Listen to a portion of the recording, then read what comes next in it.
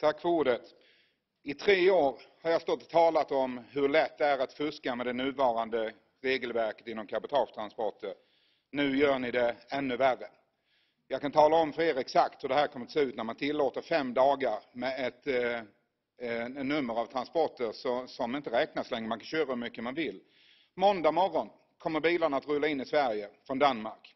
Sen kommer man att ha fem dagar på sig att utföra inrikestransporter, hur många man vill, i fem dagar innan bilen slutligen på fredag kväll återvänder till Danmark. Från Danmarks sida kommer det, kommer det att bli samma problem.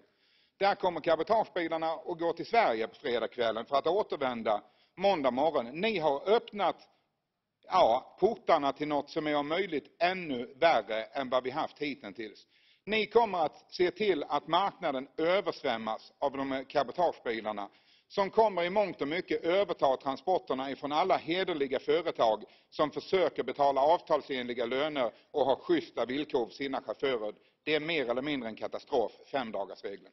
Tack.